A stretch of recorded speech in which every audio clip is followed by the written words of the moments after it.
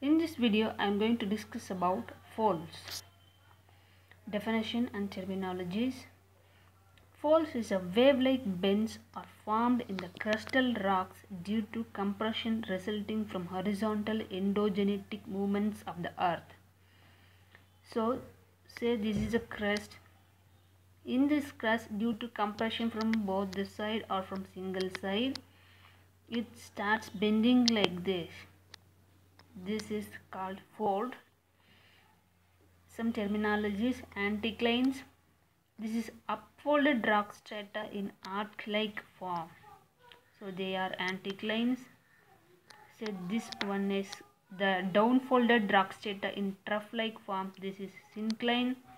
This is anticline. This is syncline. Anticlinorium. It's a fan fold folded it's it's also anticlinorium is called as fan fold.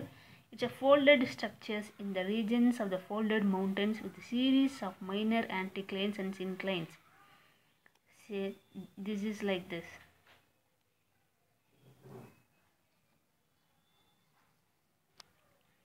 So this is called anticlinorium. This is called this is called anticlinorium so it has a series of folds. It has series of anticlines in this. This is synclinorium. This has a series of synclines here. So this is so this is synclinorium. Folds. This is a mountain fold we can see. So this is the anticline. This is the syncline. So these are the limbs.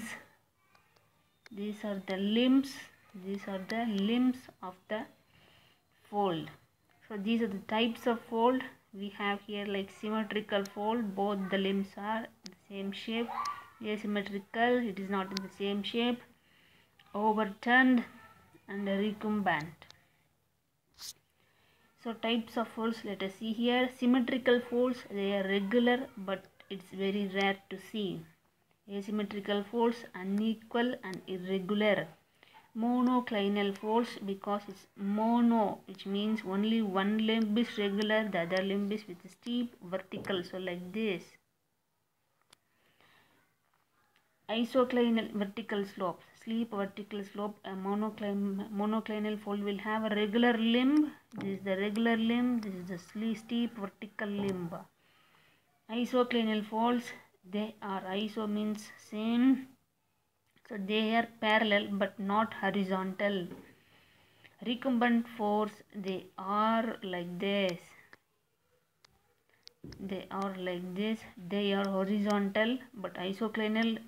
So they are parallel but they are not horizontal. Like this or like this. But recumbent will be horizontal in shape overturned folds one limb of the fold is thrust upon another fold. So this is overturned. And plunge folds forms plunge angle between axis and horizontal plane. Fan folds.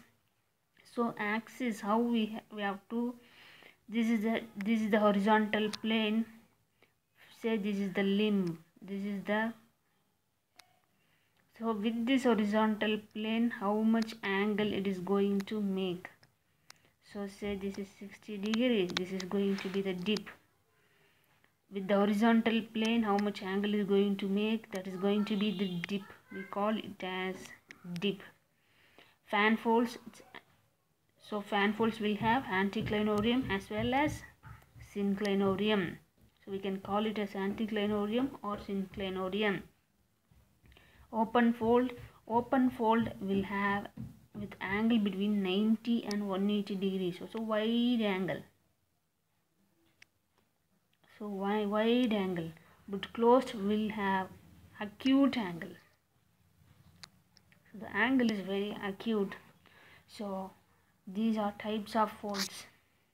And next nappes so they are the result of complex folding mechanism caused by intense horizontal movement due to compressive force. So compression either it could be one side or both the side. Because of that the folding mechanism horizontal. So if suppose a fold, intensive folding mechanism. So a complex folding mechanism caused by intense so the com- it's a continuous horizontal movement takes place like this.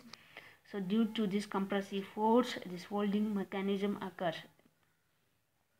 Increase in compressive force leads to overriding of other fold. If the thrust is more and loss of elasticity will lead to break in the limbs of the folds. So if the fold is like this so the fold is like this. The compression force is more when it increases here. The elastic elasticity which it has it might lose its elasticity elasticity and it might break the fold. And continued horizontal movement and compressive force will throw away the fold up to several kilometer so that it can push the fold like this or it can push the fold like this to up to several kilometers. Such broken limb of, limb of the fold is called nappe. So nappe is because of its nappe is formed because of the continuous intensive compressive force. Continuous intensive compressive force. This horizontal movement breaks the fold and it displaces the fold. This is this displaced limb is called nappe.